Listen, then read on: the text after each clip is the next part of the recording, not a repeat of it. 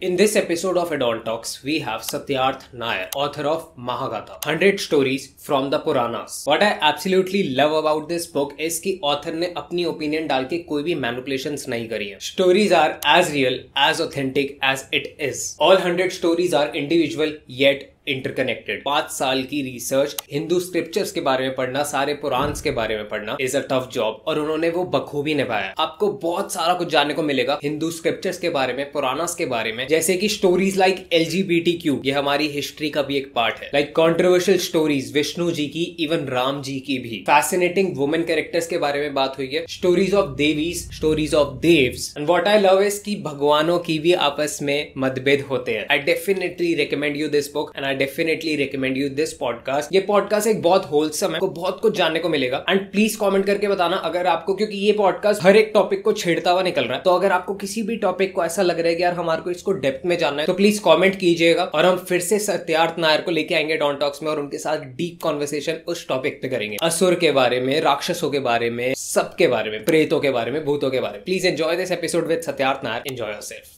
so hey Satyarth Nair. Welcome to Addon Talks. और जैसे मैंने अपना इंट्रोडक्शन दिया अभी आपको आप भी ऑडियंस को और मेरे को अपना इंट्रोडक्शन दे दो एक बार। Hi Varun wonderful to be here at Addon Talks और बहुत खुशी है कि महागाथा को लेकर मैं आया हूँ आपके और आपके दर्शकों के पास।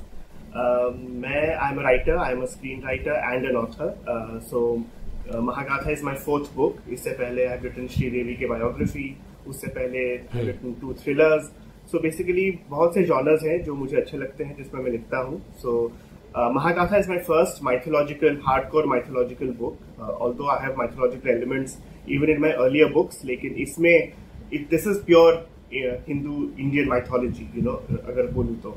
So and so this is Mahagatha collection of one hundred stories from the Puranas and I am very happy that we'll have a conversation about this you know at a down town looking forward to a wonderful chat with you perfect sir perfect सबसे पहला सवाल ही controversial के साथ हम start कर देंगे। क्योंकि क्योंकि और और इस पे मेरे को आपका टेक बहुत पसंद आया और आई वांट कि ये और लोगों तक पहुँचे।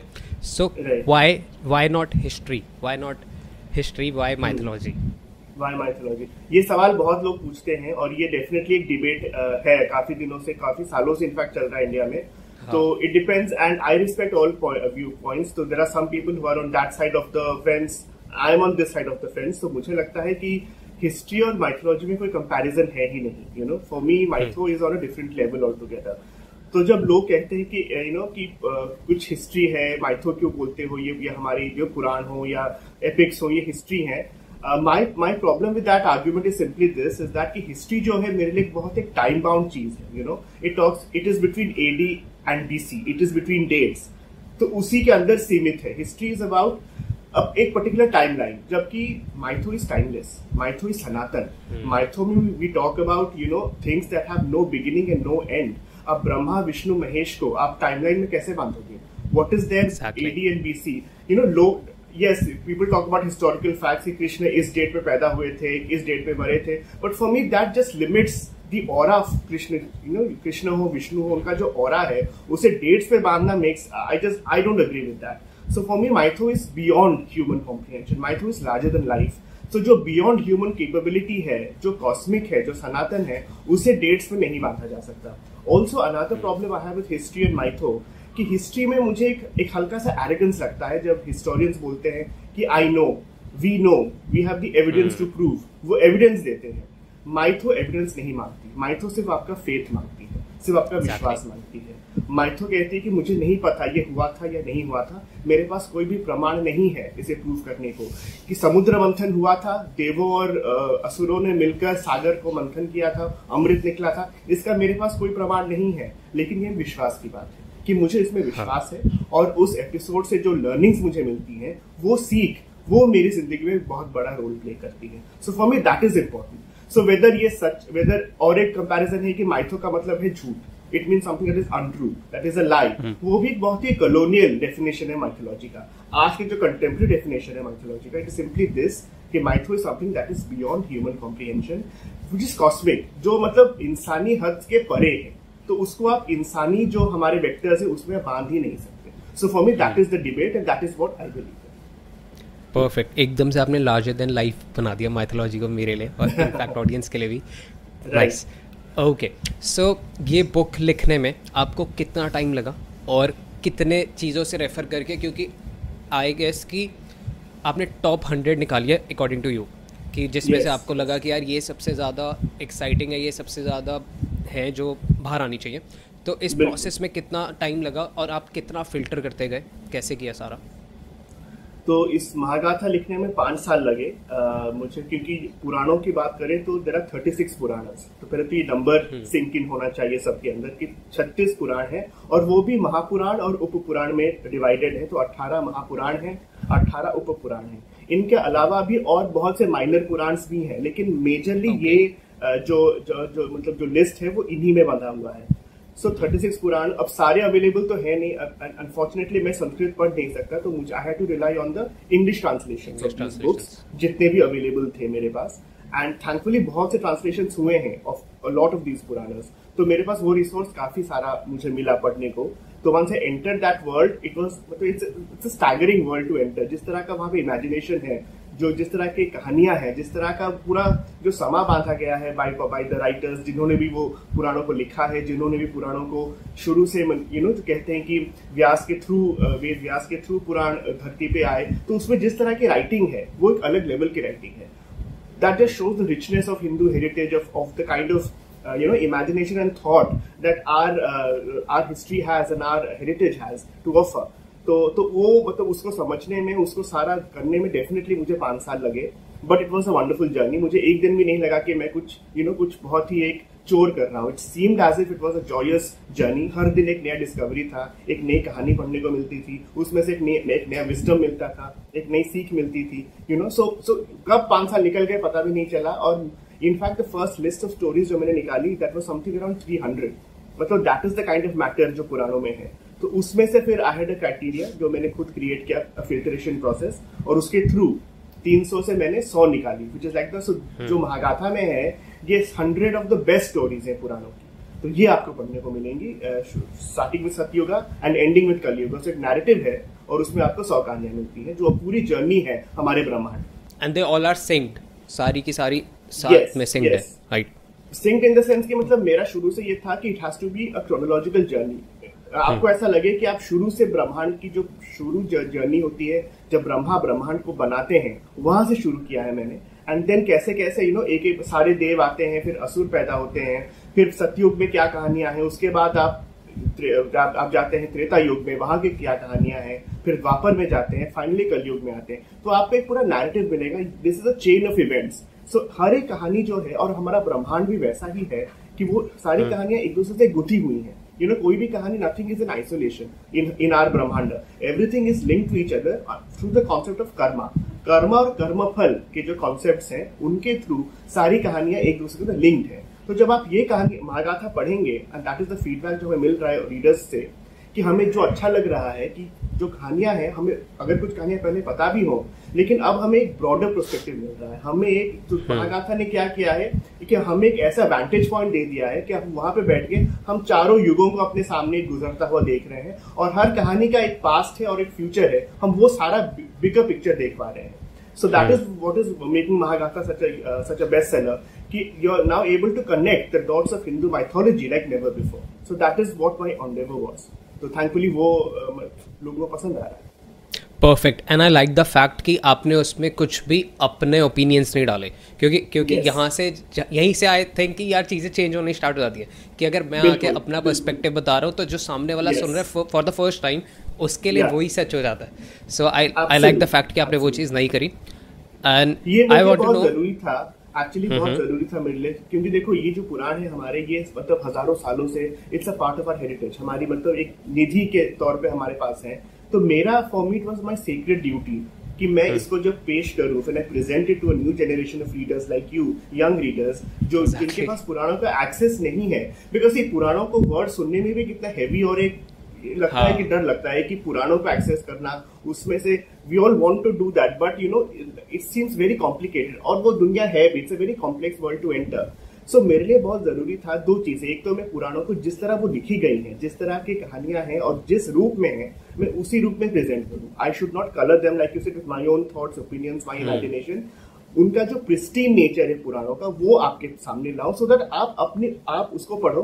और आप अपने खुद के उसमें से आप, आपकी लर्निंग्स क्या होंगी? How do you interpret a particular story वो आप पे है। Which is why my story के एंड में कोई मोरल भी नहीं है कि अच्छा इस कहानी का सार ये है या निचोड़ ये है। Hmm. वो सार वो निचोड़ आप खुद निकालो। You should engage with the story my reader should engage with every story तो वो है। Also very important for me is that कि जो यंगर जनरेशन है जो फीडबैक वही आ रहा है कि thank you because you have open the doors of the Puranas for us अभी हमें एक्सेस हाँ, मिल गया कि एक एंट्री पॉइंट मिल गई है और वो भी कहानियों के रूप में which is all the more interesting कि नाउ थ्रू स्टोरीज और पुराणों का अगर आप देखोगे पुराणों का मकसद यही था शुरू से कि अच्छा वेद है और पुराण है अब दोनों में फ़र्क क्या है? वेदों बेसिकली वेदों में टीचिंग्स है सारी जितने भी हमारे हम्म। जो मूल सार है जो टीचिंग्स है वो सारे वेदों में चारों वेदों में है।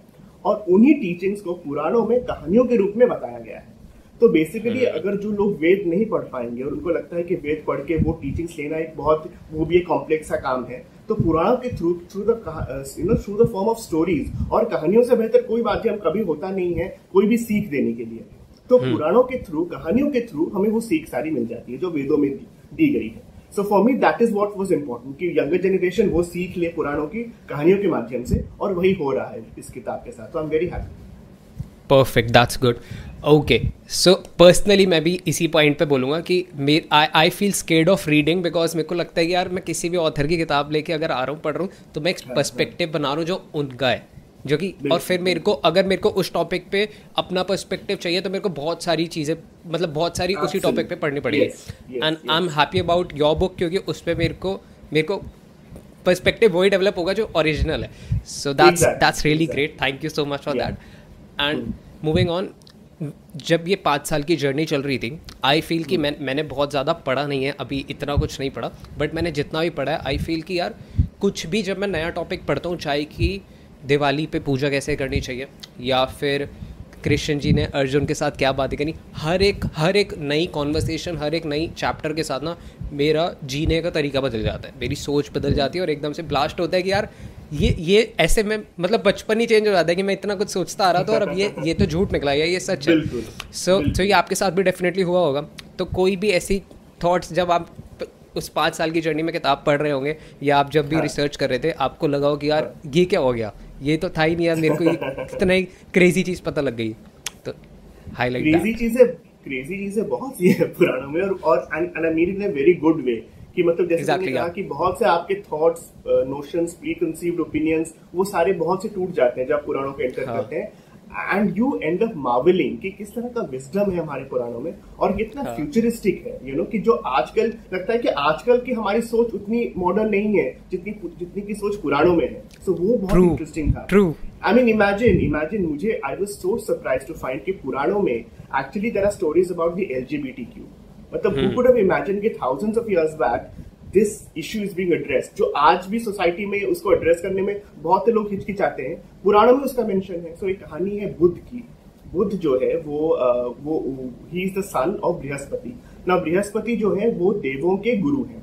देवों के हाँ। गुरु बृहस्पति थे असुरों के गुरु शुक्राचार्य थे। तो बृहस्पति इज़ द बोलते the preceptor of the Devas. ना बृहस्पति की पत्नी थी तारा। अब प्रॉब्लम वॉज़ कि तारा को बृहस्पति से प्रॉब्लम था। प्रॉब्लम ये था कि बृहस्पति हमेशा अपने हवन में और अपने यज्ञ में मगन रहते थे। तो as a husband he was not the greatest of husband तो उनकी जो मैरिड लाइफ थी that was not giving Tara the kind of physical satisfaction and love that she was craving तो देन वॉट हैपन कि Tara had an affair with Chandra. क्योंकि चंद्र जो moon god है he was always a very handsome god because moon वैसे भी बोलते हैं कि one of the most celestial objects of nature तो जो जो Chandra as god also was extremely handsome तो चंद्र और Tara had an affair and Tara elope and he stayed and she stayed with Chandra for the longest time Brihaspati ने बहुत फिर try किया कि to get his wife back she refuse कि no I am happy with Chandra imagine also how progressive story is कि जहाँ the woman has a voice to से कि I am happy with the person that I am I don't want to be with my husband you know उसके. बाद ये हुआ कि एक एक वॉर छिड़ गया उस वॉर का नाम भी तारकमय वॉर था because this was a war for Tara तो एक तरफ़ देव थे और एक तरफ़ असुर थे जो अपने गुरु के लिए आए थे यू you नो know, और एक तरफ़ देव थे जो अपने गुरु के लिए आए थे। और बीच में शिव जी शिव जी भी आए थे ब्रह्मा भी थे पूरा युद्ध छिड़ा। फाइनली युद्ध खत्म हुआ जब ब्रह्मा ने आके चंद्र को डांटा कि तुम वही हो ना जो जब तुम्हें श्राप मिला था तो शिव जी ने तुम्हें अपने मस्तक पे धारण कर लिया था। तुम उस शिव के सामने अभी तुम आके उसके सामने तुम युद्ध करोगे? Are you sure and then Chandra just collapses with folded hands कि I am sorry I made a mistake and Tara को वो वापस कर देता है। The problem is Tara is now pregnant तो उसके कोख में चंद्र का बच्चा एंड तो अब बात छिड़ती कि अब ये बच्चा किसको दिया जाए? तो फाइनली सारे देव and look at this decision ये डिसीज़न भी कितना फ्यूचरिस्टिक है। सब देव बोलते हैं डजेंट मैटर कि ये बेटा चंद्र का है, लेकिन क्योंकि तारा पत्नी है बृहस्पति की तो बृहस्पति को इसे अपना बेटा मानना पड़ेगा। Brihaspati of course is not happy with the decision but he has no choice अगर भगवान अगर विष्णु ब्रह्मा शिव ये कह रहे हैं उसे मानना पड़ेगा। बट वो गुस्से में उस बच्चे को श्राप दे देता है जो अभी भी कोक में है कि जब तुम पैदा होगे तुम तुम्हारे पास कोई भी जेंडर नहीं होगा। You neither be male nor be female तो जब बुद्ध का जन्म हुआ ही वॉज़ अ न्यूटर उसके he was neither male nor female so imagine so he had see he was like the third gender जैसे आज हम बोलते हैं थर्ड जेंडर होता है। हम्म। वो वो था। और बुद्ध जब बड़ा हुआ ही केम अक्रॉस अ पर्सन जिसका नाम है सुद्युम्न। सुद्युम्न एक राजा था, जो गलती से एक वन में चला गया, जहाँ पे शिव और पार्वती क्रीड़ा करते थे। अब उस, क्योंकि, अब, क्योंकि वहाँ पे वो दोनों क्रीड़ा करते थे तो शिव ने वहाँ पे एक माया बनाया हुआ था उस जंगल के अंदर कि जो भी इस वन के अंदर आएगा, चाहे वो कोई भी हो, वो स्त्री बन जाए। So that they don't see Parvati in that form जब उनकी क्रीड़ा चल रही होगी शिव के साथ। कोई की कोई no male gaze should follow on Parvati तो शिव ने वो माया बना दिया था। तो ये राजा गलती से अंदर चला गया and he turns into a woman तो वो कहने लगता है कि शिव के सामने क्या बट भगवान, मैं तो राजा हूँ, मेरी प्रजा है, मेरा पूरा एक राज्य है। I can not suddenly become a woman तो शिव उसको ये वरदान देते कि ठीक है आई चेंज दिस थोड़ा सा I revise my this particular boon you will be a male for one month और अगले महीने you again become a woman तो तुम्हारा हर महीने तुम्हारा जेंडर चेंज होता रहेगा। तो सुद्युम्न देन बिकम्स इला तो इला और बुद्ध की शादी होती है। तो एक तरफ़ यू हैव वन कैरेक्टर जिसके पास कोई जेंडर नहीं है जो बुद्ध है और एक तरफ़ है ईला जो एक महीने मेल जेंडर है एक महीने फीमेल जेंडर है। तो इमेजिन इस तरह का सोच पुराणों में और उनका साथ में आना एंड वहाँ से शुरू होती है चंद्रवंशी डायनेस्टी जिसमें आगे जाके कृष्ण जन्म लेते हैं। तो इमेजिन की क्या सोच थी हज़ारों सालों पहले कि हम ऐसे टॉपिक्स पे बात करते थे और इतनी ओपनली स्टोरीज बनाते थे जिसको लेके आगे भी वंशज जिसके हिस्टोरिकली मेंशनड है। जो यादव से वो चंद्रवंशी हैं जो इसी इसी इला और बुद्ध से ही जन्मे हैं। सो so, मतलब इट्स फैसिनेटिंग सो ऐसे बहुत सी चीज़ें मिलेंगी पुराणों में जो बिल्कुल अचंभित कर देती हैं।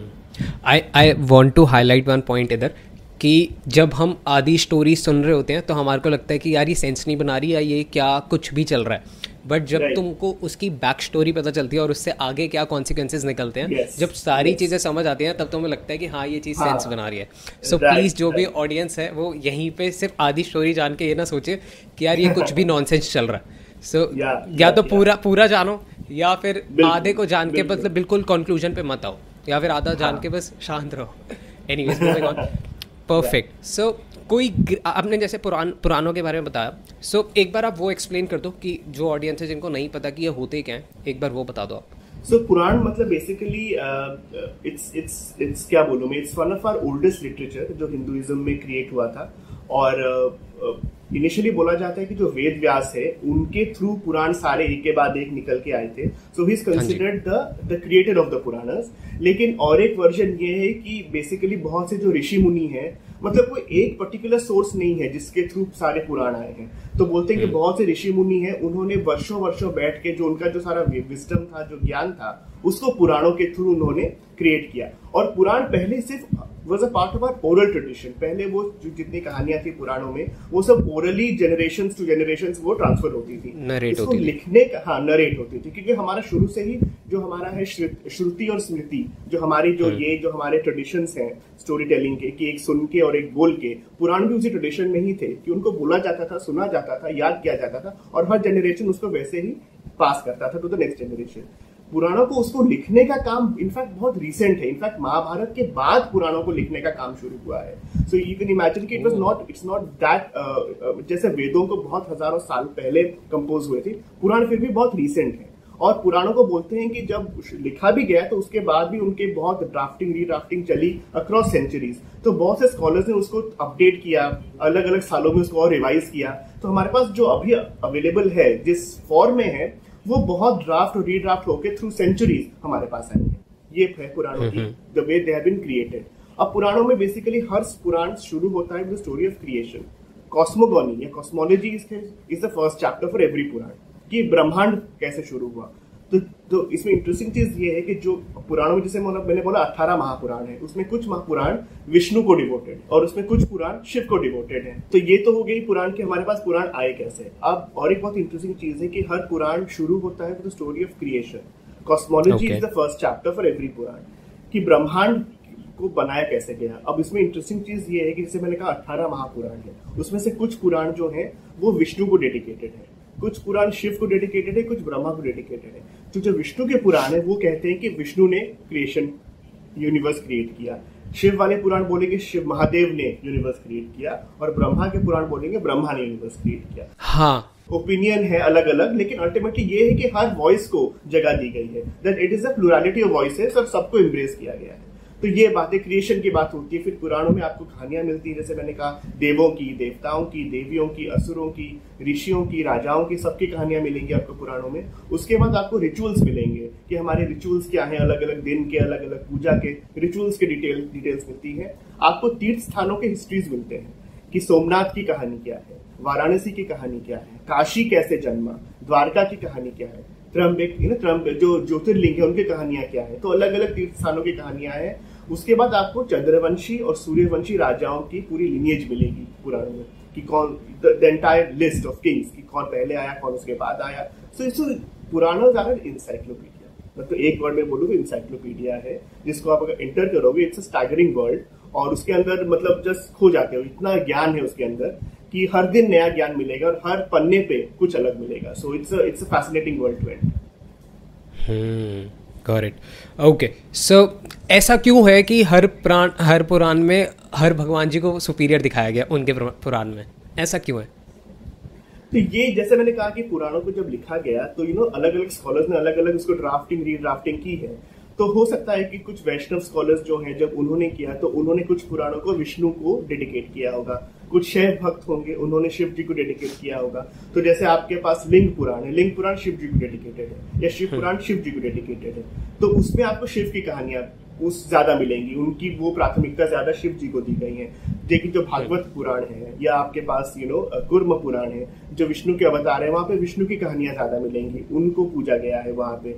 या ब्रह्मा के लिए जो पद्म पुराण है वहाँ पे ब्रह्मा की कहानियाँ ज़्यादा है। तो एक तरह से अगर आप देखें it's also like a division of labour कि हर गॉड को एक पर्टिकुलर पुराण दे दे वहाँ पे दे दिया गया है। ये दो चार पुराण एक पर्टिकुलर भगवान को समर्पित है और वहाँ पे उनकी कहानियाँ ज़्यादा हैं। उनकी चमत्कार उनकी उनके अराउंड जो भी फैमिली मेंबर्स हैं जैसे शिव के जैसे शिव पुराण में आपको गणेश जी की कहानियाँ भी मिलेंगी कार्तिक कहानियाँ भी मिलेंगी पार्वती की कहानियाँ भी मिलेंगी जो उनके अराउंड सेंटर से बनाया गया।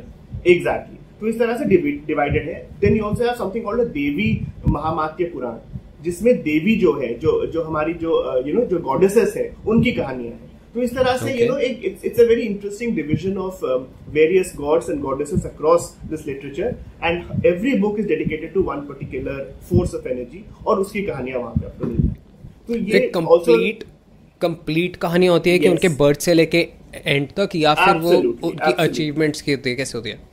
नहीं कंप्लीट ही होती है मोरलेस मतलब मतलब वहाँ से फॉर एग्ज़ाम्पल जैसे अब भागवत पुराण है, उसमें स्टार्ट होता कृष्ण का जन्म वहाँ से शुरू होता है, फिर कृष्ण के सारे एक्सप्लॉइट्स जहाँ पे होती हैं, उन्होंने मथुरा में जो किए, वृंदावन में जो किया, उसके बाद आके कैसे वो द्वारका में राजा बने तो सारी कहानियाँ मिलती हैं। तो इट्स अ जर्नी तो every book is a journey of that particular god और गॉडेस और उसकी देन उनकी आपको सारी वहाँ पे अचीवमेंट्स और सब कुछ पूरे पूरा आपको मिल जाता है complete picture of that particular team which one was your favourite जो जिससे आपको लगा हो कि यार लाइक like, सबके एक इष्ट देव होते हैं so which one was your favourite favourite तो मैं नहीं कहूँगा बट uh, अगर uh, मुझे जो फैसिनेट किया सबसे ज़्यादा out of all the characters out of all the gods that we have definitely Vishnu भगवान मेरे लिए मतलब बहुत ही नॉट जस्ट पूजनीय है बट मुझे उन, उन जो बहुत अच्छा लगता है उनके बारे में वो ये है कि uh, पुराणों में ब्रह्मा जी को बहुत रिस्ट्रिक्टेड स्पेस दिया गया है for whatever reason Brahma जैसे आप जानते हैं इंडिया में ब्रह्मा को वर्शिप ही नहीं किया जाता यू नो फॉर उसकी हाँ. भी कहानियाँ हैं पुराणों में कि क्यों नहीं किया जाता। और महादेव जो है उनकी बहुत कहानियाँ हैं और उनके डेफिनेटली महादेव तो मतलब देवों के देव हैं। लेकिन महादेव जो क्योंकि he suppose to be a hermit या एसेटिक जो बोलते हैं तो इसलिए वो basically he does not like to engage with the world वो अपने कैलाश में ही like to meditate that is what he generally you know उनका and he is happy with that because he is not someone who is who loves to be a part of the ordinary world जो around है. He tries to be away from that हाँ वो अपने अलग रहते हैं उसी में वो रहते हैं. विष्णु तो जो भार है प्रेजर्वेशन का वो अल्टीमेटली विष्णु के कंधों पे आ जाता है. लेकिन भगवान विष्णु जो है उनको फिर ये भार मिलता है विच इज़ वाई जो ट्राइपार्टाइट डिविजन भी है ऑफ़ लेबर उसमें ब्रह्मा जी जो है वो क्रिएशन क्रिएटर है.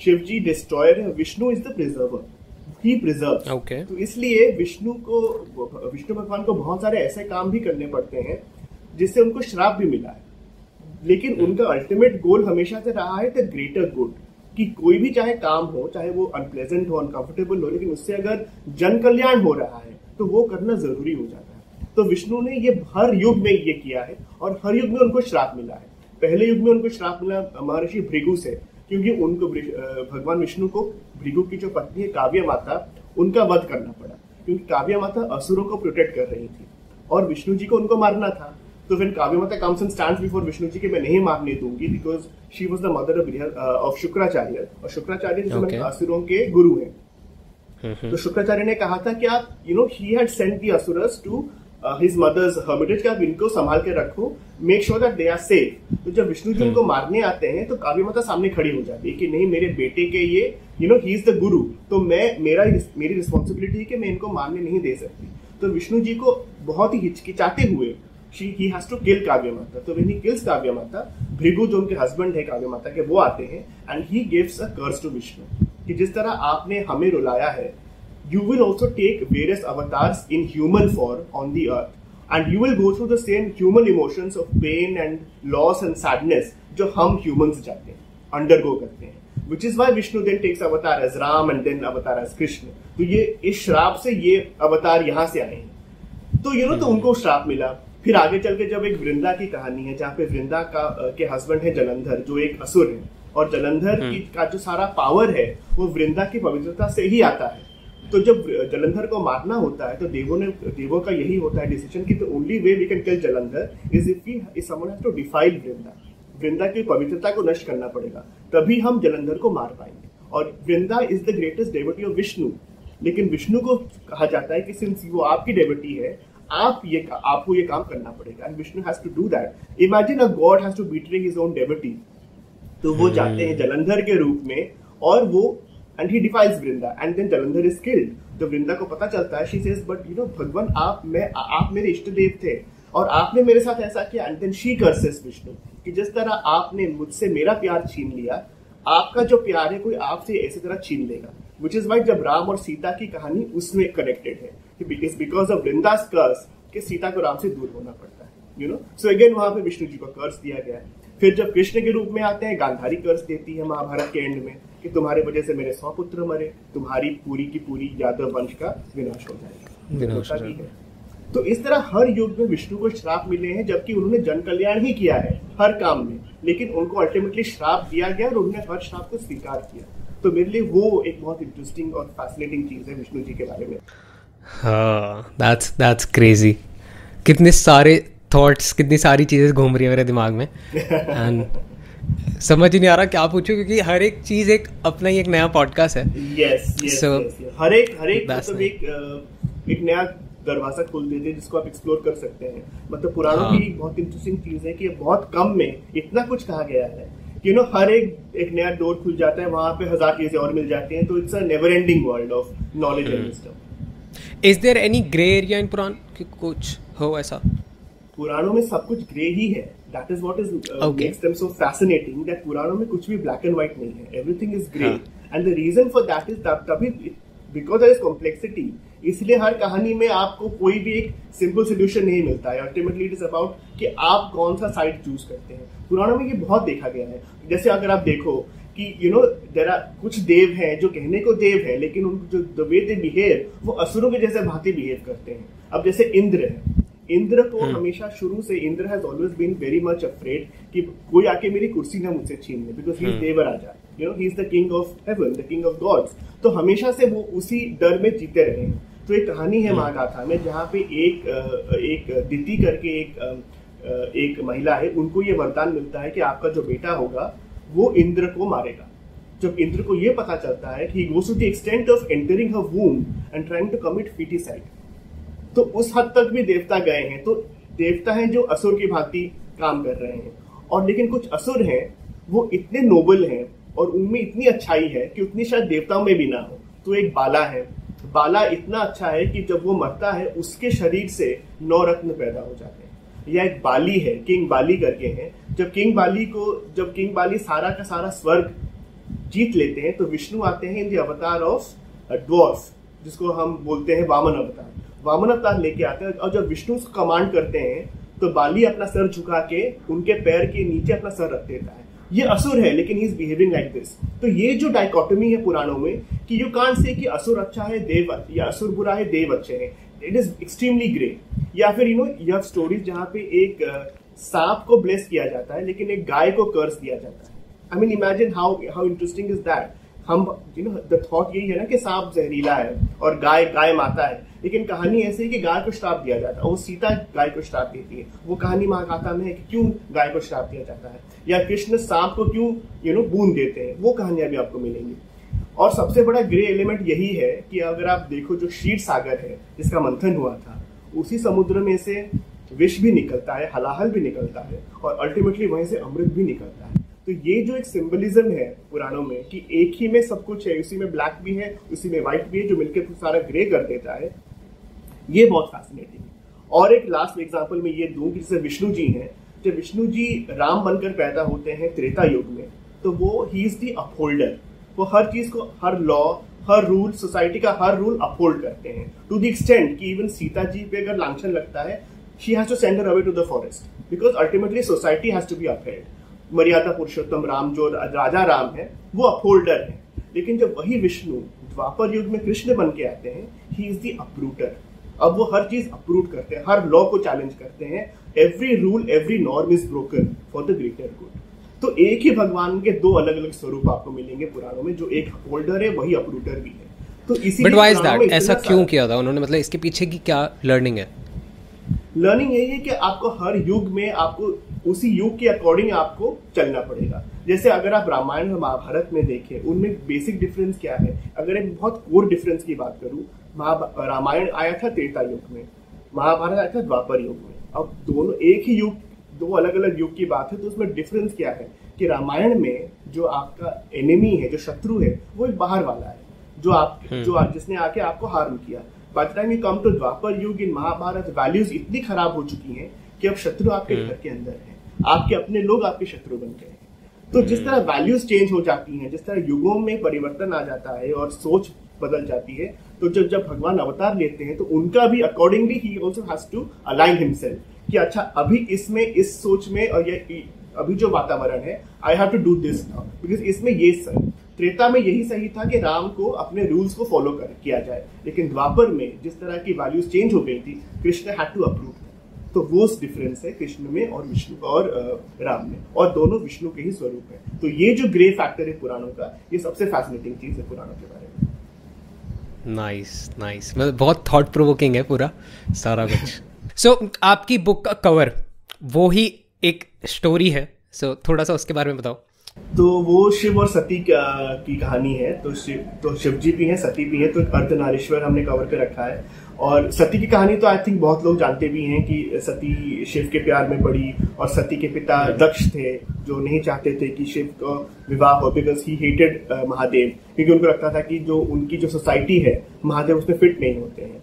और दक्ष विष्णु के भक्त थे तो he was about he wanted culture he wanted a part of you know उनका जो सारा माहौल है सोसाइटी का सोसाइटी के सोशल रूल्स फॉलो होंगे कल्चरल रूल्स फॉलो होंगे। और शिवजी इन सबसे परे हैं। Mahadev is not bound by rules you know he is a free spirit तो दक्ष को कभी समझ नहीं पाए कि शिव जी शिव जी का उनका what is this that Mahadev believe in so he always kept him away तो जब सच, उनकी बेटी शादी करते तो ही इज़ नेवर हैप्पी तो and it's a very famous story की देन जब वो एक बहुत बड़ा यज्ञ रखते हैं शिव जी को नहीं बुलाते हैं उस यज्ञ में तो सती आती है and he is like how can you not invite your daughter and your son in law how मतलब मतलब यहाँ पे यहाँ पे विष्णु बैठे हैं ब्रह्मा बैठे हैं लेकिन महादेव नहीं है। ऐसा यज्ञ कैसे हो सकता है? और दक्ष और ज़्यादा शिव जी को वहाँ पे यू नो ह्यूमिलिएट करता है कि तुमने जिससे शादी की he is nothing more than a Kapali अलग अलग नाम hmm. लेता है तो बहुत ह्यूमिलिएट करता है।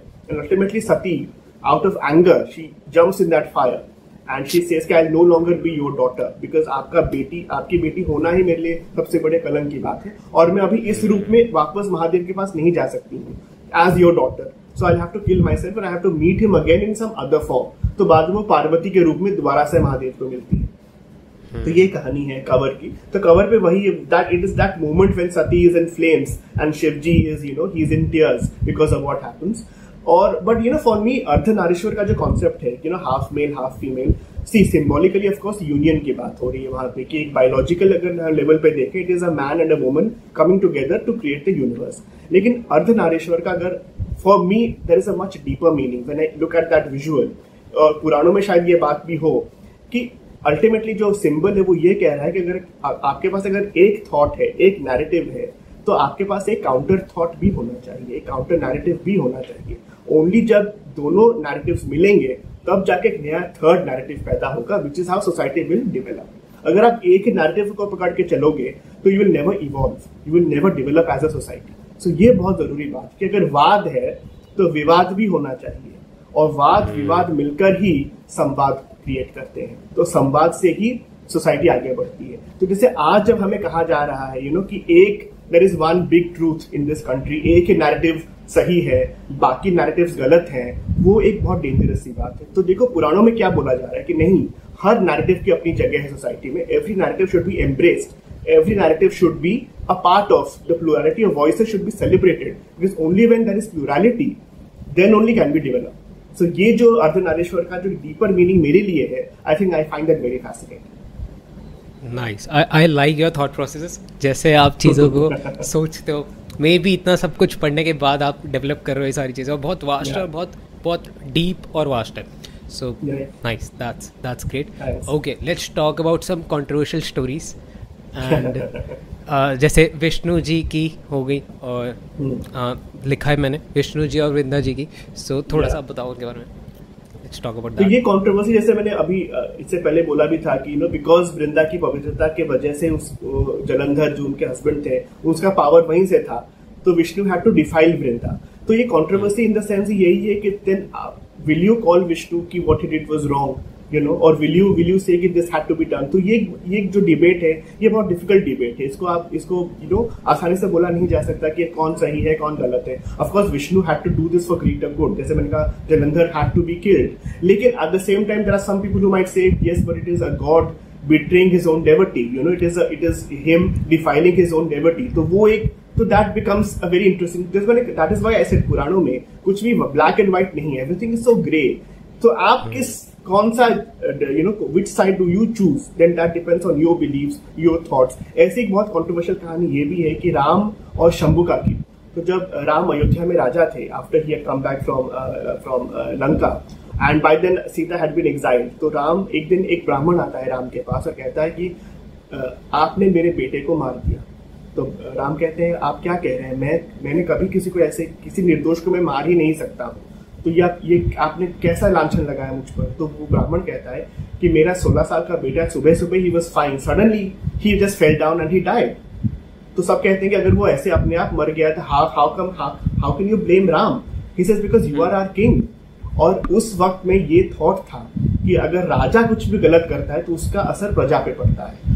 तो अगर, और ये अगर एक, और अगर ये कितनी अनहोनी बात है कि मैं इस वृद्ध उम्र में मैं जीवित हूँ और मेरा सोलह साल का बेटा मर जाता है ये एक अननेचुरल सी चीज़ है। और ये अननेचुरल चीज़ तभी होगी अगर राजा ने कुछ गलत किया होगा। तभी तो आपने आपसे कुछ तो एक गलती कोई चूक हुई है जिस वजह से ये ऐसी चीज़ें हो रही हैं।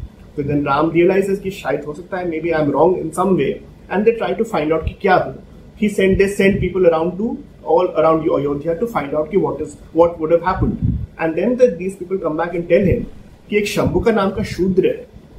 जो वेदों का पाठ कर रहा है। और त्रेता युग में ये ये वर्जित था कि जो शूद्र हैं वो वेदों का पाठ नहीं कर सकते ये एक लॉ हम्म। बनाया गया तो वो जो ये कर रहा है ये अननेचुरल है ये गलत है और उसी वजह से उसका जो रेपोकशन है वो इसमें लोग भुगत रहे हैं कि जो ऐसी चीज़ें हो रही हैं। तो Ram had to go and stop him तो वहाँ पे जब शंभुका के पास राम जाते हैं शंभुका कहता है कि मैं जानता हूँ मैं गलत कर रहा हूँ but I want to know the weather so that मैं I want to go to the sky I want to ascend heaven and this is the only way I can do that तो राम कहते हैं but you are doing what you doing is wrong this against social rules against what has been the norms that we have created and because of this you are creating unrest in my praja तो तुम्हें रुकना पड़ेगा। And जब वो refuse करता है तो राम वहाँ पे उसको बिहेड कर देते तो ये भी एक वहाँ पे ना, इसमें भी there different schools of thought one of course will say कि Ram had to do this rightly because as a king he had to save his praja तो अगर प्रजा पे कोई भी आपत्ति या कोई भी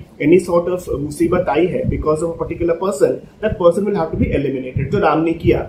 लेकिन एक अलग थॉट ये भी हो सकता है कि इट इज़ अबाउट कास्टिज्म कि एक तरह से आप कह रहे हैं जो hmm. शूद्र हैं जो लोअर कास्ट हैं उनको आप वेद नहीं पढ़ने देना दिया जा सकता।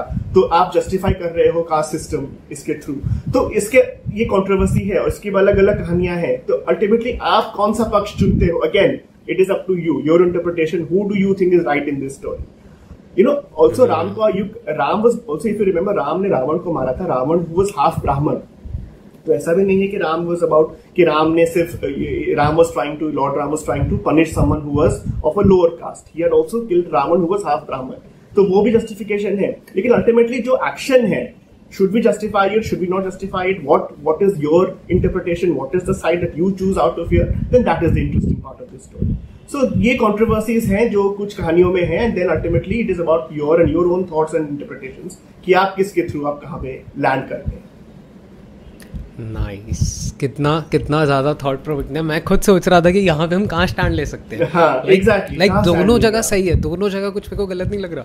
क्योंकि बिल्कुल बिल्कुल। जिस सराउंडिंग में वो उस टाइम पे होंगे उनको वो सही लगा करना। हाँ. और आज के प्रेजेंट डे के हिसाब से देखे तो हमें लग रहा है कि क्यों किया? नहीं करते। कन्वेंस करते।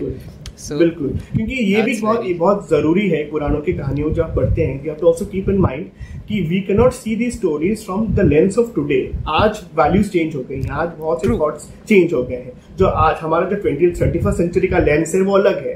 ये हम बात करें द्वापर युग के जहाँ पे was different set of values was different set of norms and societies तो वहाँ पे उस वक्त क्या सही था क्या रेलिवेंट था हमें बहुत समझना पड़ेगा। तो उस लेंस में हम अगर ये कहानी देखें तो या तो शायद फिर भी हमें खटके कि हाँ ठीक है लेकिन फिर भी एक कहीं पर शायद कुछ गलती हुई है तो it is a very difficult thing to decide and debate on तो and that is the beauty of the Puranas it is so grey that it doesn't let you it doesn't give you black and white it gives you grey then आप then you make your दिमाग लगाओ। I was reading Chanakya नीति and उस time पे भी for, for, जो जो उसमें रूल्स हैं फॉर दैट वो बड़े ब्रूटल हैं थोड़े से ना?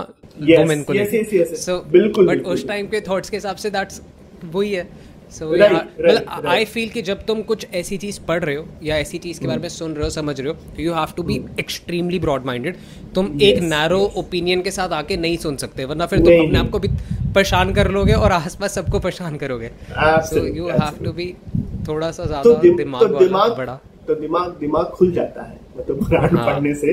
It just opens all these windows in your mind and it it and forces you to think जो सोचने exactly. का एक जो हम लोग नहीं सोचते हैं it forces to think it becomes a mental exercise कि अच्छा then what what is the right thing and the wrong thing तो व्हेन जब वो मेंटल चर्निंग अब एक अंदर शुरू हो जाती है आपके अंदर then it is then you know कि पुराणों की कहानी का उद्देश्य हो गया because it makes you think true that's the nice ending note क्योंकि बहुत लंबा पॉडकास्ट हो जाएगा फिर लोग सुनेंगे नहीं। डेफिनेटली मेरे को बहुत मज़ा आया और इतने सारे सवाल मैंने लिखे हुए हैं यहाँ पे।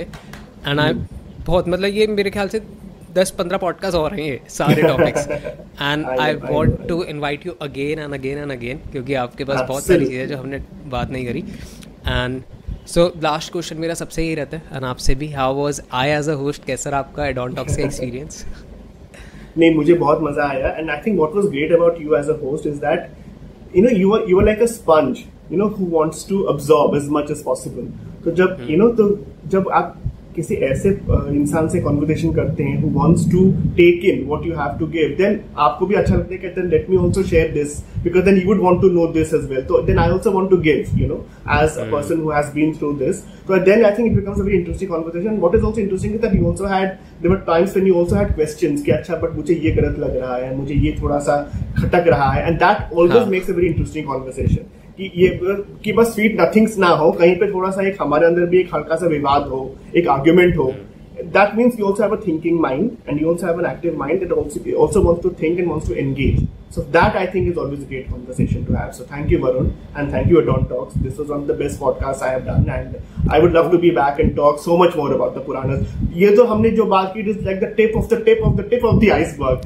exactly. I wanted कि ये थोड़ा एक ट्रेलर टाइप बन जाए उसके बाद हम जाएंगे हर एक कॉन्सेप्ट के डेप्थ में. बिल्कुल.